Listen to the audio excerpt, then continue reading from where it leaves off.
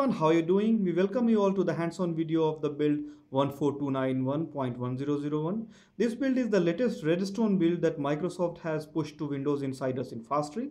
When I talk about Windows insiders in Fast ring, it's about only those insiders who has got a device that shipped with Windows 10 Mobile.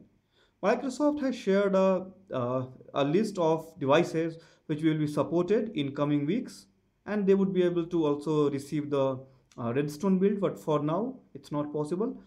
So it's only possible for 550 650 950 950 xl and uh, one or two more devices. So here you can see the build is here on this lumia 550 now coming to uh, reported and unreported changes. So there are majorly three reported changes.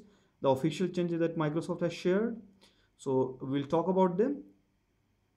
One of them is maps.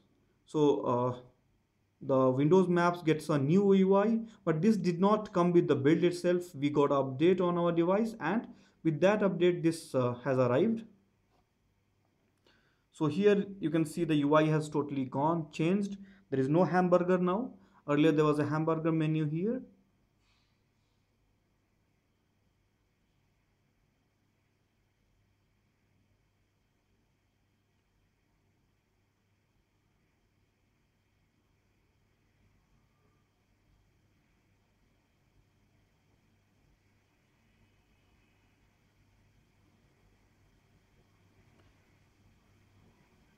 So you can see the various uh, settings, new settings on this map. Live tile, ease of access, your location, speed warnings, turn-by-turn navigation.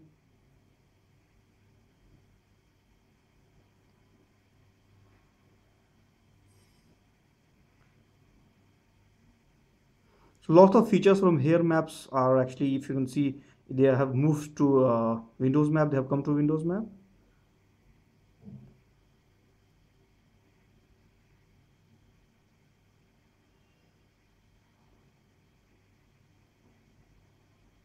So what is uh, new in this is that if you are searching, let's say we search for two or three places,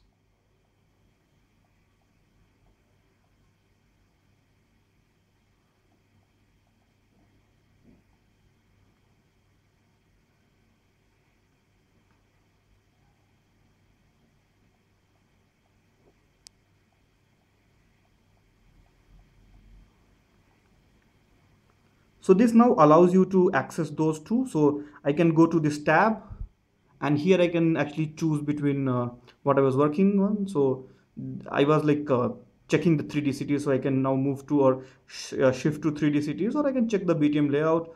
Uh, so whatever you are searching or opening so that will be available in this tab. So it's like a browser Microsoft Edge or whatever browser kind of stuff and it's really helpful so you either you can close it. You can close a search or you can close a 3d city. So whatever you do with this map is now available for one tap access. That's a very cool or good feature. So the ui has changed and uh, we must say that it looks really promising. Favorites directions etc so this is how the map uh, the the updated map UI looks like it has changed and it will also appeal to the Windows fans because that hamburger is gone. So that's a good news. Then another change was something that we had already reported. So it's in alarms and clock and it uh, now has got a new uh, I mean the alarm setting edit alarm uh, UI had changed. We have uh, be reported about this. You can see that the UI has actually uh, I mean gone through a revamp it's different from what you will see on uh, the earlier versions. The third reported changes about feedback app. So two uh, apps the feedback app and the insider they have merged and this is a new feedback app that you can see. It's now a combined application which you can use for like uh, seeing the feedbacks announcements alert quests. So it's a basically merger of two.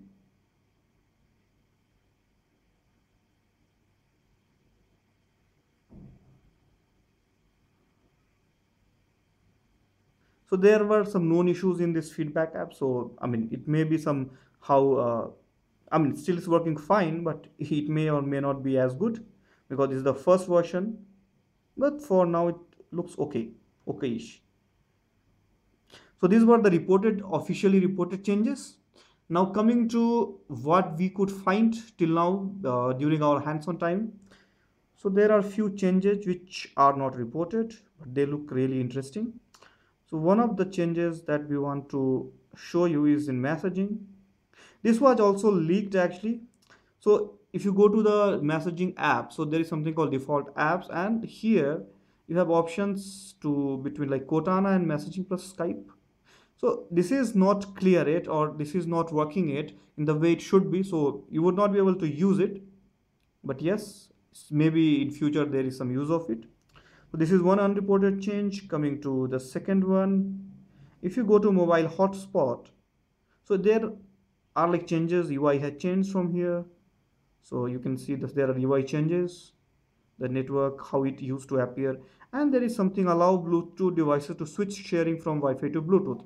So maybe when a Bluetooth device is connected here to the device, if you switch on it, toggle it on, it will allow it to change the sharing from Wi-Fi to Bluetooth. And then this this name has changed. Now it is turned on remotely. While there was like I think this text was earlier there and this option was there, but this turn on remotely something new is written. So this mobile hotspot has gone through changes and there is one extra option of allow Bluetooth devices to switch sharing from Wi-Fi to Bluetooth. Now third change is also very very interesting, but it, you can call it a change or you can call it a bug. So it may be a future change, but for now it looks like a bug. So you see a new option in update and security.